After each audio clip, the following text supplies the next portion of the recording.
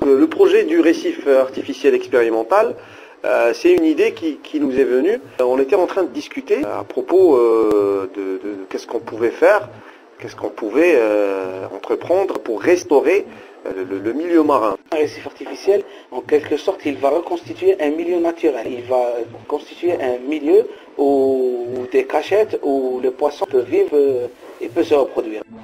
L'idée, c'était de, créer un récif artificiel, de fabriquer avant tout une structure et de l'immerger pour qu'elle soit un récif artificiel. L'idée, on l'a concrétisée avec nos, propres moyens.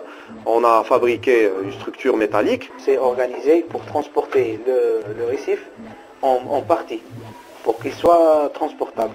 On l'a transporté dans un camion jusqu'à la plage. À la plage, on l'a assemblé et on l'a soutenu avec des, boudins de relevage professionnel et on l'a tracté avec une embarcation de, pneumatique jusqu'à la zone où on a décidé de l'immerger sur une zone qui est sablonneuse. On l'a immergé, on l'a fixé avec ses semelles en béton pour se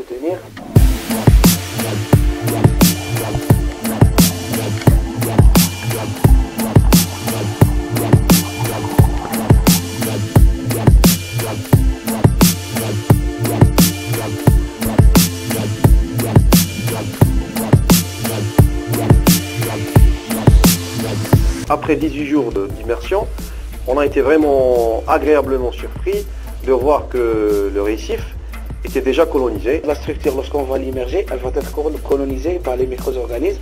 Ils vont constituer le premier maillon de la chaîne alimentaire qui se trouve dans la mer. Euh, ces micro-organismes vont attirer la biomasse. Il y a des espèces qui vont venir s'alimenter sur ces micro-organismes qui se sont fixés en premier lieu sur la structure et après la chaîne elle va se suivre. Le récif qu'on a immergé, il a été l'objet euh, d'études de trois étudiants au master euh, en océanographie de l'université de Mostaganem.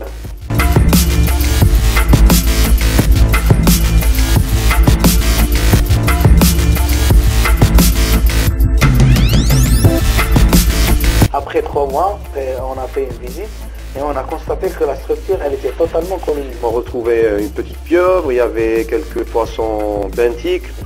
On a, même suivi l'évolution d'un petit, petit poutre euh, qu'on l'a vu petit et après on, l'a vu grandir.